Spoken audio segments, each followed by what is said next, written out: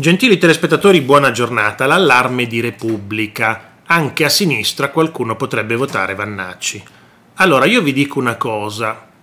Quando scese in campo Berlusconi nel 1994, poi vinse le elezioni. Io ricordo perfettamente che chiedevo in giro chi avesse votato Berlusconi, ma non c'era una sola persona che mi diceva di averlo votato, eppure lui aveva avuto tantissimi voti. La maggioranza in Italia era del suo partito, Forza Italia, ma nessuno diceva apertamente di averlo votato perché si vergognavano. Si vergognavano. Ha detto Berlusconi? No, io, ma va, ma cosa dici? Ma stai scherzando? Ecco, poi lo votavano di nascosto. Forse oggi anche tanti, come dice la Repubblica, probabilmente ragione, tanti voteranno Vannacci senza dirlo. Perché oggi dire di votare Vannacci ti additano come un razzista. Se tu voti Vannacci sei un razzista. Quindi molti voteranno Vannacci come ai tempi votarono Berlusconi, di nascosto, senza dirlo, esultando poi a casa da soli. Quindi quello che dice la Repubblica, attenzione che a sinistra qualcuno potrebbe anche votare Vannacci, non è propriamente una sciocchezza, anzi, Vannacci potrebbe sfondare proprio a sinistra, perché io ho conosciuto tante persone di sinistra e mi sono accorto che in tanti, in tante, tra queste persone di sinistra, pubblicamente dicevano una cosa porte aperte, facciamo entrare tutti i clandestini del mondo, poverini.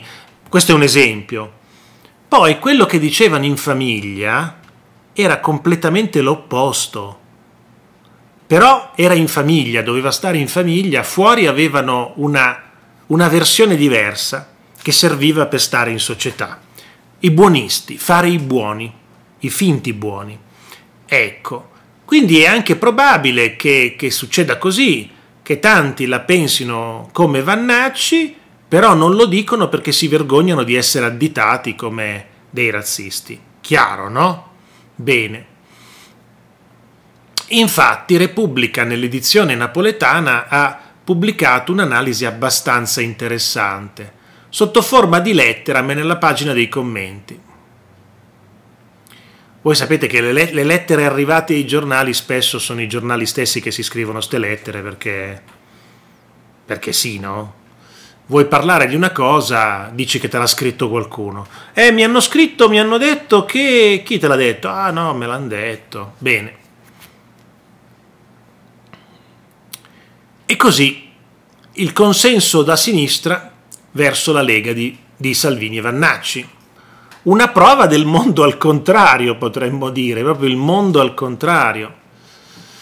L'autore afferma che è comprensibile l'accanimento, così lo definisce in gran parte della classe dirigente, anche qui una distinzione col popolo, col centro-sinistra contro le posizioni espresse da Vannacci. Ecco, ehm, secondo secondo proprio la Repubblica, con questo, ar- questo ar- questo articolo, eccetera, eccetera, fra qualche, dicono proprio così, fra qualche settimana la valanga di voti di cui egli e il partito di Salvini beneficeranno. Hanno scritto proprio così, la valanga di voti. E così in questa lettera, che poi se, se è vera o falsa chi lo sa, c'è scritto Vannacci interroga la sinistra.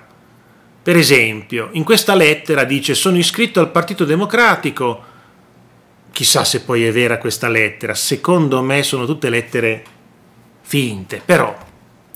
E questo, questo, questo che scrive la lettera dice sono iscritto al PD, ho sempre votato e militato nella parte sinistra dello schieramento politico e continuerò a farlo. E proprio per questo, anzi soprattutto per questo, provo a ragionare sul perché tanta gente che incontro per strada, potenzialmente nostri elettori, voteranno per Vannacci. Dice è troppo facile liquidare la questione definendo le sue idee come una banale somma di battute da bar dello sport. E questa è la sensazione che ho avuto anch'io leggendo il suo libro. ma il consenso di cui godono molti concetti in esso rappresentati si fonda, a mio avviso, su esigenze reali del paese che il mio partito e in generale la sinistra fanno fatica ad intercettare. Sono anni che temi quali la patria e la sicurezza dei cittadini sono stati delegati alla propaganda della destra, in modo assolutamente suicida e dimenticando che anche sul piano ideologico il Partito Comunista Italiano, una delle colonne storiche fondatrici del Partito Democratico, aveva una politica chiaramente nazionale e anche in tema di sicurezza, al netto degli estremisti di alcune frange movimentiste, aveva le idee molto chiare. Quindi in questa fantomatica lettera di questo elettore del PD che dice tanti di sinistra voteranno Vannacci, perché anche noi parlavamo di sicurezza tanti anni fa, anche noi parlavamo di patria tanti anni fa. Non c'era bisogno di sentirsela raccontare la sicurezza e la patria della destra, la raccontavamo anche a sinistra e quella gente che non trova più il racconto di patria, di unione sociale, allora di sicurezza, allora quella gente dice vabbè, io per la società sono uno di sinistra e continuerò a dire che sono di sinistra, però nella scheda elettorale metto Roberto Vannacci. È detto il generale. Perché magari lui risolleva queste cose. Quindi pubblicamente il PD è un grande partito, non voterò mai la destra, ma nell'urna Roberto Vannacci.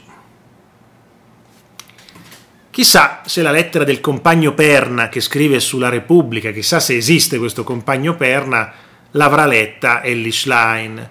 Però Ellie Schlein vede il PD e la sinistra tutta a suo modo, una specie di centro sociale. E non puoi far esaltare patria e sicurezza da un centro sociale. Loro hanno come nemici la polizia nei centri sociali, bisogna lasciarli lì alle loro cose. E così sul Libero Quotidiano dicono chissà se Ellie Schlein o se avranno fatto leggere ad Ellie Schlein la lettera del compagno Perna. E così il passaparola in favore di Vannacci è cominciato. Una volta era De Luca, vi ricordate, o sceriffo che intercettava un consenso proprio da sceriffo. Oggi c'è Vannacci che è molto più di uno sceriffo, è un generale di corpo d'armata, che dice, come dice l'autore, potenzialmente sembrano delle banalità, ma sono quelle potenziali banalità che raccontano di un mondo che oggi viene difeso solo dalla destra, perché la sinistra ormai se ne è completamente disinteressata. Grazie a tutti e arrivederci a presto.